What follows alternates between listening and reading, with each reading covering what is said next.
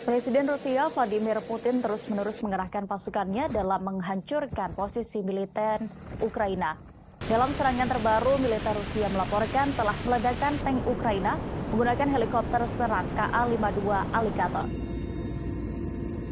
Video rekaman detik-detik tank angkatan bersenjata Ukraina diledakkan Rusia dirilis pada hari ini Rabu 21 Desember 2022. Dengan laju cepat, helikopter KA-52 datang menghantam kendaraan militer pasukan Zelensky hingga hancur lebur. Seperti biasa, sebelum mengeksekusi prajurit Rusia, terlebih dulu mengintai tank tersebut. Insiden ini lagi-lagi menambah daftar panjang kerugian yang dialami militer Ukraina.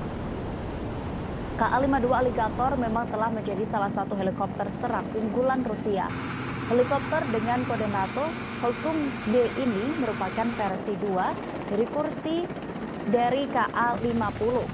Ini adalah helikopter serang segala cuaca multiperan yang mampu beroperasi di siang hari dan malam hari. Pengembangan dimulai pada tahun 1994 dan jenis ini pertama kali diterbangkan pada tahun 1997.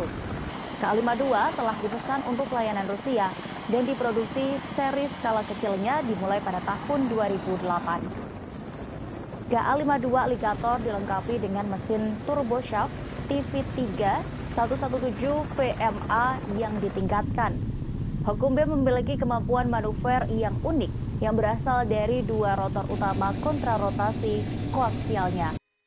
K-52 juga mampu menahan serangan dari proyektil 23 mm dengan mengamankan kursi lontar pilot. Helikopter bisa terbang dengan satu mesin dinonaktifkan.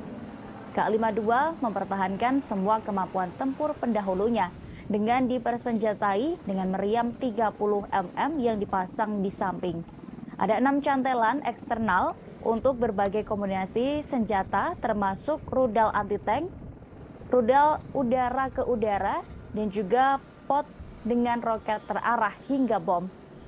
Untuk misi anti-armor, ia dipersenjatai dengan hingga 12 FIG ATGM. Helikopter ini memiliki jangkauan hingga 10.000 meter dan menembus hingga 1000 mm pelindung baja di belakang pelindung reaktif eksplosif. Sehingga rudal FIG mampu mengalahkan tank tempur utama yang paling terlindungi sekalipun.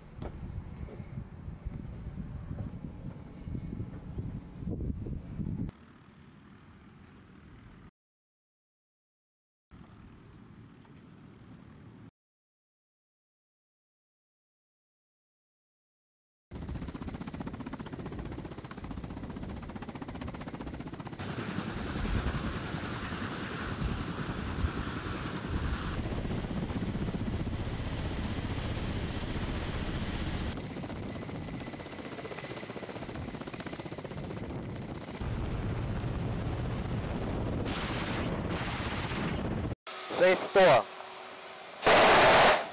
6900. 5800. Да, и прямо.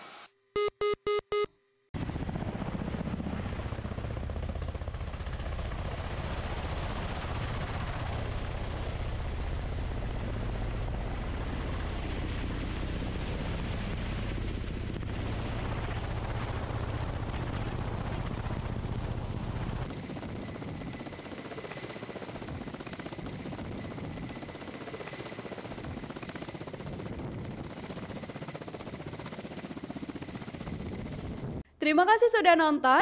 Jangan lupa like, subscribe, dan share ya.